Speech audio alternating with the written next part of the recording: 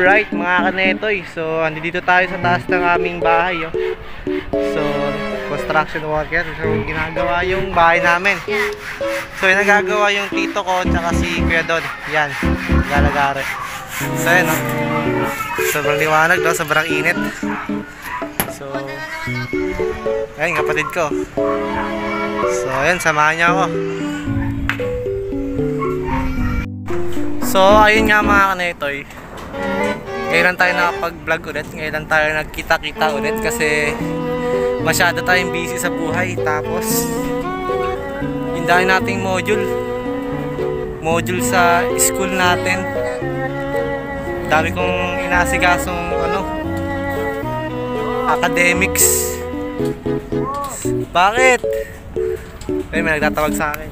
So, ito, sige doon ginagawa na yung bahay namin mga kalapatid so ayun papakita ko sa inyo. So ito mga kaneto nandito tayo sa taas ng bahay namin. So ito. Yan yung view. So ito kapatid ko. Makulit. Tapos si Tito Manoy tapos si Kuya Don. Yan si Tito Manoy marami yung chicks. Tapos si Kuya Don yan. Sino ba tatawag sa akin dyan? Uy, bakit? Di kita di ka makita sa video. So, ayun ah. Ginagawa na. So, ayun nga mga kalapatids, oh. Yan, sige doon. Yan si Tito Manoy, yan oh. Poging pogi. Yan. Sila yung gumagawa dito sa bahay namin. So, nagpa-forma na sila. Yan oh. So, ito. Ito yung ano, hagdan. Diyan yung hagdan. Tapos dito, ano, entrance yan, napapasok dito sa kwarto. Oo, yan yung, dito, dito yung ano, kapihan, kapag na, ano na, nabuhusan na. Kasi bubuhusan to mga idol. Bubuhusan, tapos pagtapos buhos, pwede na magkape-kape. So, kung nakikita nyo, mayroon tayong ano, para hindi tayo mangitim. Yan o. Oh. Yan o oh, sila. So marami-rami nang nagawa sila. Napormahan na yung dito. Formado na yan. Mga tukod sa ilalim mga kanetoy. May mga tukod-tukod na yan mga sir. Yan o. Oh. Talagang pabusisi yung paggawa nila dyan. Hindi yan basta-basta. Sa mga gusto mong magpagawa dyan ng bahay, no, kontakin nyo lang ako para sabihin ko yung tito ko. Yan. Oh. Malupit yan, na karpentero. All around yan mga sir. Yan. Oh. Magka, magtatansi na. Yan sa mga gusto magpagawa ng bahay, kontakin nyo lang ako ha. Chat nyo lang ako. Alright.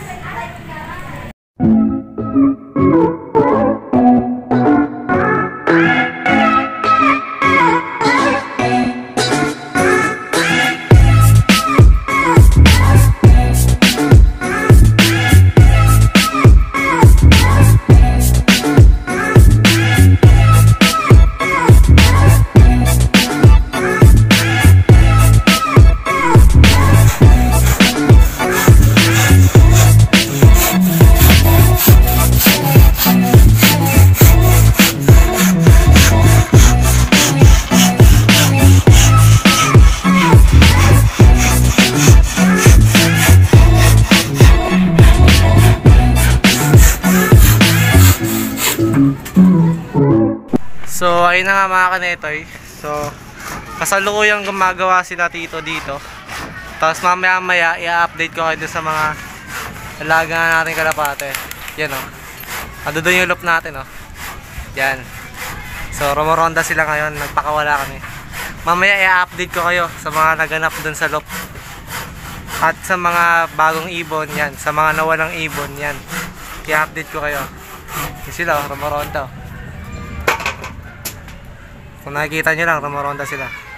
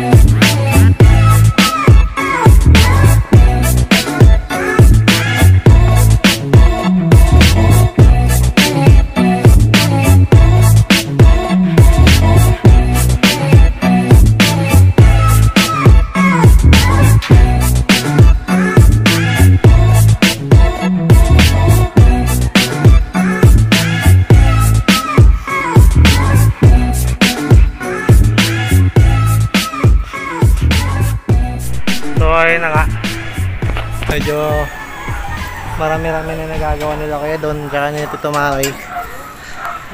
Yan o. Oh. Madami-dami na. So medyo malapit-lapit na matapos mga kalapatids. So mamamaya-maya mga kalapatids. Yun nga i-update ko kayo. Pero mamaya pa yun pagtapos ng kapag tapos na sila dito. So, samahan niyo pa rin ako.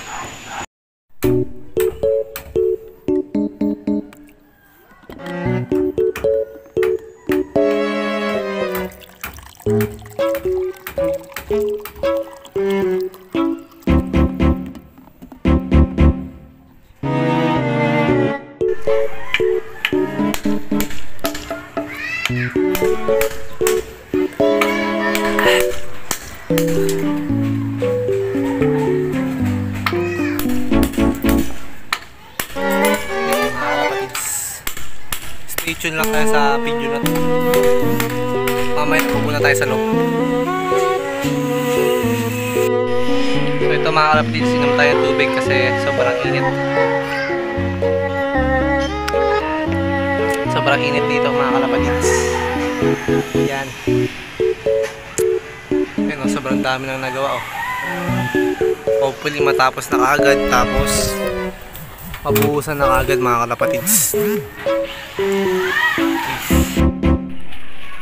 Right mga ano, mga kalapatids. So nagme-merienda na kami. Yan o. May meriendahan na kami. So ayun mga kalapatids oh. Medyo napapormahan na. So sa kabilang side naman. Tapos sunod yung forma naman ng biga. Yung susunod yan. Paikot yan mga karapatids tapos sunod lalagyan to ng ng plywood tapos lalatagan na ng mga bakal. So yun. Merenda mo namin mga karapatids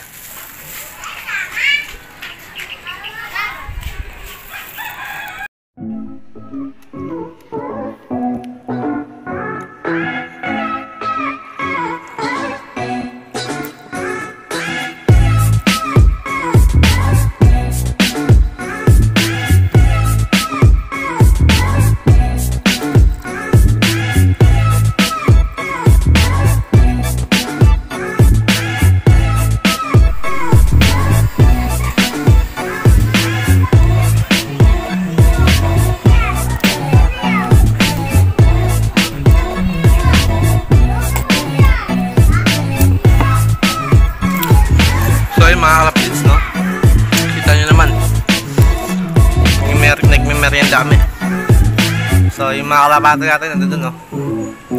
Nandiyan dyan Mamaya papasok ko kayo dun. So short update para sa kanila. So yung mga gusto magpa-shoutout eh mag-comment lang kayo dyan. Para sa susunod na video ma-shoutout ko kayo. And yun na nga. So ayun mga kanetoy, o habang nagme-merenda pa yung iba nating kasama doon. Yan. Pasok ko muna kayo dito sa vlog namin. Ito, yung mga naganap. Sarado nga itong big. Ah!